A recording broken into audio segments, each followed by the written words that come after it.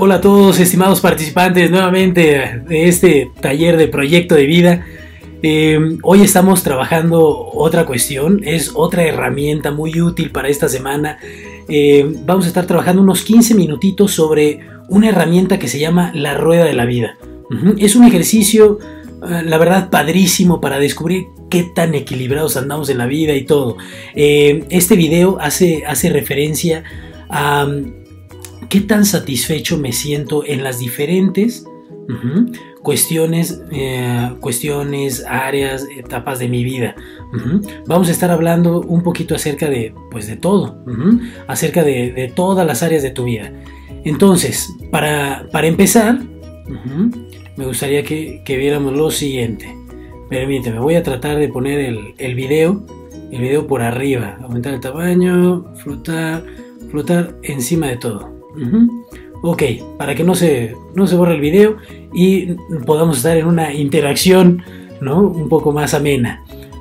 Lo que vas a ver aquí en la pantalla, ahorita lo, voy a aumentar, dice instrucciones de la rueda de la vida y todo. Este documento ya lo tienes ahí en la plataforma, lo vas a descargar y todo. Y lo único que tú vas a hacer en la primer, en la primer pestaña, ahí dice test de la rueda de la vida. Este, lo único que tienes que hacer es colocar una puntuación del 0 al 100. Acuérdate que lo que estamos trabajando es ver qué tan satisfecho me siento en esa parte de mi vida. Y tenemos diferentes áreas, la parte, la parte del área física, área personal, área familiar, económica, espiritual, ocio, social y profesional. Para tu mayor comodidad, este, este ejercicio, este, este Excel, ya viene, ya viene aquí descrito qué cómo te sientes en cada una de las áreas. Viene, viene la descripción a qué se refiere, por ejemplo, el área física. ¿no? El área física, imagínate, te vas a puntuar del 0 al 100. Antes de eso, perdón, me gustaría explicarte que si te pones 0 en todo, sí necesitas ir a terapia. si, te sale una puntuación entre 0, 1, 2, oye, parece que nos estamos desvalorizando demasiado. Necesitamos eh, necesitamos aprender a querernos un poco, porque no hay un ser humano que esté cero en todo. Sí necesitaríamos ahí ver otros recursos para apoyarnos de, nuestro entorno. Y también, si en todo te sale 10, o sea, si en todo te sale 100, no, yo estoy súper bien en todas las áreas de mi vida. Ok, muchísimas gracias por participar. No tenemos nada que hacer aquí. Te puedes retirar. Este ejercicio no es para ti. Eh, luego conseguiremos algún ejercicio para semidioses.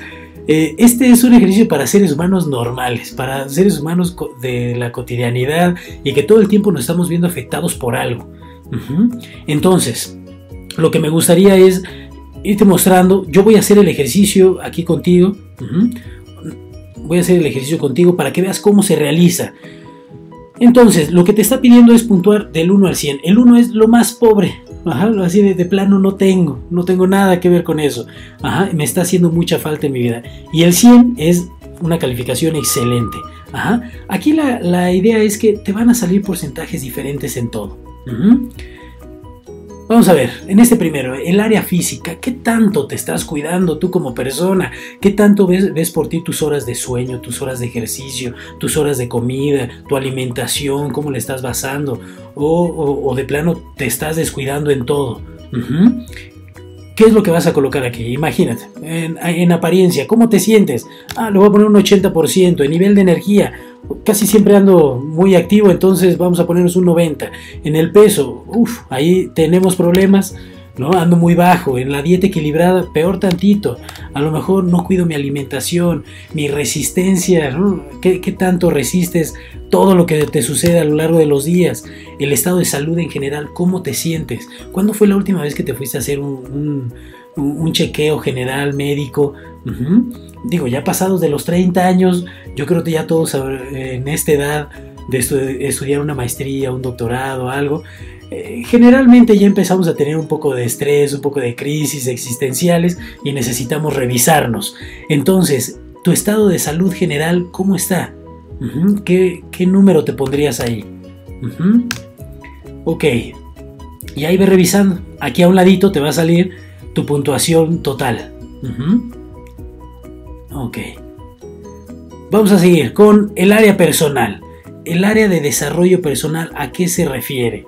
Eh, te vienen ahí descritas unas cuestiones como si eres consecuente o no, si decides, eh, si dedicas tiempo al crecimiento personal. A mí me parece que el estar ya en, una maestría de tu gusto, que tú la escogiste, ya, ya habla de que este desarrollo personal se está realizando. Eh, disfrutas momentos de tranquilidad, es decir, no todo el tiempo andas trabajo, trabajo y trabajo, oye, tengo mil deudas, entonces ya no hago nada en la vida, más que puro trabajo. Antes decía, no, pues es que trabajo por mi familia, trabajo por esto, pero la familia y los demás intereses es a lo último, a lo que ves. Te has enfocado tanto en tu trabajo que te olvidas de ti mismo. Entonces, vamos, vamos a ir puntuando suponiendo un 80%, cuánto tiempo dedicas al crecimiento al personal. A lo mejor no eres un super yogi, no eres una persona eh, que se trabaje muchísimo, que todo el tiempo esté viendo primero por él y después ya por, por las cuestiones materiales y demás. Pero bueno, te vas trabajando un poco. Ajá, ¿cuánto tiempo le dedicas, no? Si son una o dos horas a la semana, ¿no? Estamos hablando de menos de un 20, ¿no? Te vas a colocar un 20. Si dices, bueno, procuro diario tener ahí una bitácora, este, estar trabajando conmigo, revisar si sí me siento a gusto con lo que estoy haciendo o no. Ah, pues ya voy, voy subiendo, ya me pongo un 60, 70. Oye, pero diario ya también me preocupo, reviso cómo, cómo me siento, estoy haciendo algo. En la mañana, en la tarde, cuestiones para hacer crecer mi parte personal. Entonces ya estamos hablando arriba de un 80. ¿Cuánto te estás colocando ahí? Disfruto los momentos de tranquilidad o todo el día andas como un uh, como un hiperactivo total, ¿no? no tienes tiempo para ti, no tienes tiempo para, los demás, entonces la vida se te va así. ¿Qué número te vas a poner ahí? ¿no? La felicidad, ¿cómo te sientes? ¿Qué tan satisfecho estás con lo que estás haciendo el día de hoy? ¿Qué, ¿Cuántas veces al día te das la oportunidad de reír? Ahí colócate un número. Después, la imagen de, mí mismo y autoestima. ¿Cómo te sientes contigo? Cuando piensas en ti, ¿qué es lo primero que está pasando? Luego, luego viene algo a disgusto, viene, eh, vienen quejas o te, sientes bien, o luego, luego te autosaboteas. ¿Qué número te pondrías ahí? En referente a, a la imagen contigo mismo, ¿cómo te sientes? Después, tengo, tengo una vida estimulante, ¿no? Controlas el estrés o de plano ya necesitas ir a diferentes doctores para que revisen tu estado de ánimo, tus crisis, ya no logras tener un control sobre ti mismo, te, das cuenta que andas explotando con medio mundo. ¿Cómo estás en esa área? ¿Qué tan cuidado estás? Vamos al área familiar, ¿no? Imagínate esta persona. El área familiar se refiere a cómo estás con tu pareja, con tus hijos, con tu, con tu familia, con algún otro miembro de la familia. ¿Cómo estás con ellos? ¿Cómo es la relación que tienes con ellos? ¿Te dan, te dan ganas de estar ahí en tu casa o prefieres aceptar horas, horas extra con tal de no, de no llegar a tu casa? ¿Cómo estás? Le voy a colocar algunas puntuaciones para que después podamos ver la gráfica, cómo sale, suponiendo. Espero no estarme proyectando tanto. Ok. Después nos vamos a ir al área económica. En el área económica quiero que te preguntes, pues, a ver, ¿cómo está? No, aquí no ponerte una calificación del 100%, no es de, ay, gano un montón, ¿no? Gano los 100 mil, 200 mil pesos mensuales y ya. No, aquí es qué tanto también te sabes, te sabes administrar. Porque puede que ganes poco, pero te administres de una manera adecuada y esto te genere una satisfacción, te alcanza hasta para guardar y todo.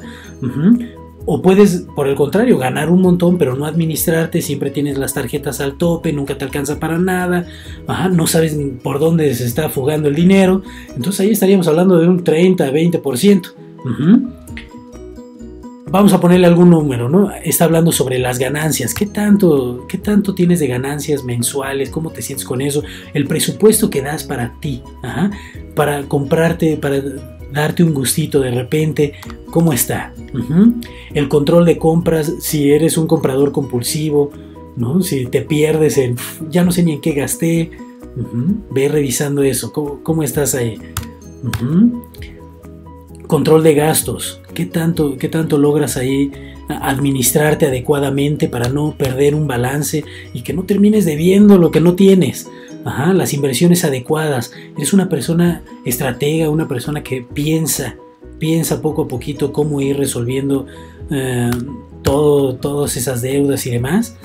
Es más, una estratega a lo mejor ni deudas tiene, ¿no? Se administra tan bien que, sus finanzas todos son inversiones. El balance final del mes, ¿cómo llegas al final del mes? Eres de los que ya nada está esperando a que le depositen para que su dinero pase directamente a las cuentas bancarias para pagar otras cosas o, estás muy a gusto ahí contigo, ¿no? Te, te alcanza súper bien, no debes nada. ¿Cómo estás? Me voy a otra parte. Pues sí, aquí abajo ya no hay nada. Vamos con el área espiritual. El área espiritual muchas veces se refiere a esta parte de la realización y los valores. No es nada más que, si vas a misa, que si vas a tu creencia, lo, que tú tengas como creencia religiosa, o si tienes o no una creencia religiosa, Ay, si creo en tal cosa, ya me pongo 10, no. Va un poquito más allá. Va referente a esto de tengo claras mis metas, mis objetivos, soy congruente en mi vida con mis valores o ando, ando ahí promocionando alguna cosa, pero soy completamente lo contrario en casa y en otros espacios. Actividad para tu crecimiento personal, que tanto te trabajas, trabajo mis puntos débiles o cada vez que alguien te hace una, una crítica, constructiva, tú la tomas como una crítica totalmente destructiva, ¿no? Y es alguien que no merece estar en tu vida, ahí hay que trabajar, ¿no? Me preocupo por el crecimiento de los míos, soy responsable con el medio ambiente. ¿Cómo estás en ese aspecto? Voy a, voy a colocar algunos números. Ahí. Para que veamos al final cómo queda la gráfica. El área de ocio. Esta es la parte del entretenimiento. Por ahí algunas veces nos han dicho, no, es que el ocio es malo, tener tiempo libre es malo. No, no, no, para nada. Ajá. Aquí es, ¿qué haces tú con tu tiempo libre?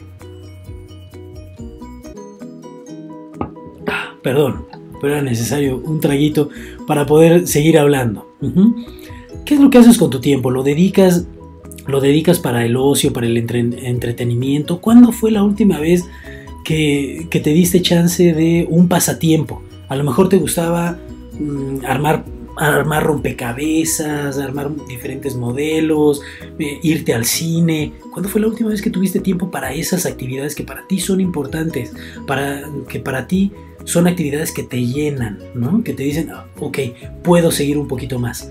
Porque no dejas de ser tú mismo con esas actividades. Haces deporte de, vez en cuando, ¿no? Algún libro que te, que te guste leer, teatro. ¿Cuándo fue la última vez que saliste únicamente por placer y a lo mejor no por trabajo o, por, o porque alguien más te está diciendo que tienes que ir? Te diviertes y participas en el ocio disfrutas tu tiempo libre tanto en tu casa, disfrutas tu soledad, sabes acompañarte, o todo eso te genera mucho conflicto. ¿Qué porcentaje te pones aquí? Después tú vas a tener tiempo ahí para llenarlo con calma. Ok. Yo esperaría, bueno, esto es como un tutorial acerca de, cómo contestar el ejercicio de la rueda de la vida. Vamos con otra parte que se llama el área social. Hay muchos que a esta edad, después de los 30, después de los 40 años, se olvidan de las amistades y todo se vuelve compañeros de trabajo. Eh, cuando tienen un problema no saben a quién recurrir más que a sus familiares porque no han hecho esta parte de relaciones. No han hecho esta parte de mm, aprender a confiar en el otro y que ellos también confíen en él. Entonces, aquí esta área social está revisando un poco la calidad de las amistades. ¿Tienes alguna amistad que, que tú digas, me va a apoyar en un momento complicado de mi vida? ¿Podría él estar ahí? Independientemente de cualquier cosa, yo le llamo y esa persona estaría ahí acompañándome. O, o, de plano no encuentras a alguien, no encuentras a alguien que esté cuidándote ahí. Y del mismo modo, ¿no? Personas que confíen en ti plenamente, que, que tú sepas que eres un gran apoyo, un gran pilar para alguien. ¿Qué tanto cuidas a tus amistades? Dices, sí, tengo amigos, pero los veo una vez al año, ¿no? Y nada más cuando me invitan a alguna boda. O sea, ¿cuándo fue la última vez que te procuraste mandarles un mensaje ahora, ¿no? Este, invitarlos a un cafecito, alguna salida, alguna reunión, darte, darte chance para, para trabajar esa parte también participación, comunidad y trabajos sociales. ¿Qué tanto logras eh, ofrecer un poco de ti allá afuera y no nada más hacer como tu parte de, de, trabajador, dependiendo de la carrera que tengas, que tanto te has enfrascado en esas actividades y no te permites ver esta otra parte de que puedo hacer un poco de servicio social. Disfrutas de la compañía, te estimula, te genera placer el estar acompañado o prefieres estar todo el tiempo solo. Dice, practico el ocio interesante con amigos. Es decir, ¿te sabes acompañar? ¿Qué tanto trabajo te cuesta acompañarte de, algunas personas a lo largo del día? O, te ingentas rapidísimo y prefieres trabajar solo y ya no quieres hacer nada en la vida. Satisfacción en, general con mi vida social. ¿Cómo, te sientes? ¿Qué es lo que haces para ti? Ay, Vamos a poner aquí algunos números.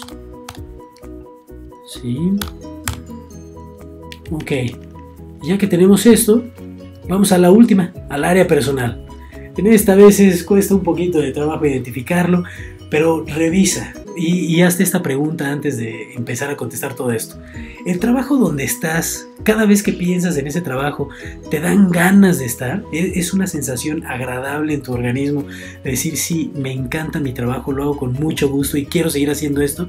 No importa la paga, eso, es, muy aparte. Aquí es, estoy a gusto con lo que yo tengo o me está costando mucho trabajo y ya te cuesta trabajo levantarte para ir al trabajo, ya de plano comienzas a tú mismo autosabotearte, comienzas a llegar tarde, comienzas a no entregar proyectos, eh, comienzas a no hacer. Y entonces ya todo el mundo empieza a notar toda esta indiferencia, todo este, todo este mal trabajo y estás esperando casi casi a que te corran. O por el contrario, estás tan a gusto que los demás notan esa presencia, esas ganas de hacer las cosas y se vuelve diferente. ¿Dónde estás tú? ¿Ves posibilidades de desarrollo en tu trabajo? te, dan ganas de seguir buscando nuevos, nuevos horizontes, nuevas cosas. Tu trabajo es estimulante, es decir, te reta, te, sientes, te sientes retado, a seguir haciendo cosas diferentes. Eh, el, trabajo eh, es en un lugar deseado. Para ti, tu trabajo, eh, estás a gusto ahí. ¿Qué, tan, ¿Qué tan agradable puede ser el estar ahí en tu trabajo? Pregúntate eso. Dice, ¿son valoradas mis capacidades? ¿Te sientes valorado? Esa es una muy buena pregunta. ¿Te sientes valorado con lo que haces, con tus jefes, con las personas que dependen de ti, con tus iguales ahí en el trabajo? ¿O por el contrario es, pues, ¿puedo o no puedo estar? Y da lo mismo. Yo esperaría que la respuesta es, no, o sea, se nota cuando estoy, se nota cuando no estoy en el trabajo. Hago, intento hacer las cosas de una manera diferente. ¿Cómo estás tú ahí? amplio conocimiento y, me voy reciclando. O sea, estoy abierto al cambio. Estoy dispuesto a hacer las cosas de manera diferente si así se requiere. Ponte ahí un número. Ya que tienes todo esto, fíjate, ya que lo contestaste, te vas a la segunda pestaña. Voy a hacer esto un poco más grande para que tú puedas observarte y revisar qué fue lo que salió. Aquí viene una explicación, tú lo vas a leer ahí con calma, esta teoría de Stephen Covey y cómo lo trabaja. hay muchos autores que, van trabajando todo esto de la rueda de la vida.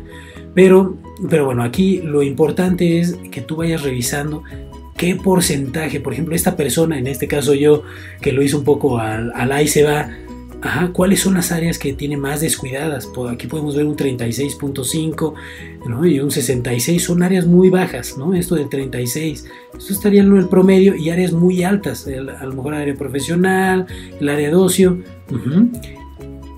Si lo queremos ver más en esto, aquí viene la grafiquita, cómo nos está saliendo. Es una manera muy, muy gráfica, ahora sí por, decirlo en estas palabras, valga la redundancia, una, forma muy gráfica de, ver tus resultados, de analizarte, de comenzar a trabajar ahí. Y, cada área, aquí vienen con algunas preguntas. Las áreas más altas y las más bajas te vienen con preguntas. ¿Cómo es equilibrada, exitosa y excelente tu vida? Ok, no, seguramente nunca nos va a salir una rueda perfecta. Eso es lo que quiero que entendamos. No hay perfección, a nadie le va a salir igual. Eh, nadie tiene un círculo perfecto aquí. Si te sale un círculo perfecto, yo dudaría un poco. Eh, este, pero generalmente salen así las ruedas. Unos más altos, unos más bajos. ¿Esto qué quiere decir? Que somos perfeccionables, que todo el tiempo necesitamos hacer algo para mejorar, para ir cambiando. Este ejercicio es parte del proyecto de vida. Si, si nosotros logramos irnos trabajando con base en esto, en las diferentes áreas de mi vida, voy identificando cómo funcionan y todo, entonces seguramente voy a crecer. Voy a crecer como persona, voy a crecer en lo laboral, voy a crecer en todas las áreas. Eso es lo que intento trabajar con ustedes esta semana. Espero que no tengan dudas o si las tienen, con mucho gusto estamos para resolverlas. Recuerden que tenemos una parte ahí en el foro de comunicación, en, el foro donde todos participan, o está el apartado de mensajes donde pueden mandarnos este, sus dudas ¿no? referentes a este tema. Y bueno, estamos para resolverlo. Ha sido un gusto verlos esta semana, por lo menos a través de esta pantalla. Y recuerden, no dejen de mandar sus avances, no dejen de mandar estos productos eh, que hemos estado trabajando para que también tengamos una evidencia del trabajo que se está haciendo. Seguramente estás haciendo mucho en casa, mucho en tu oficina, mucho en todo, pero mm, de momento nos hace falta ver un poco más de ti. Recuerda que este taller está diseñado para ti, para, para que de alguna manera poco a poco comiences a desarrollar más ese proyecto de vida. Bueno, yo me despido de ustedes, ha sido un gusto, excelente tarde.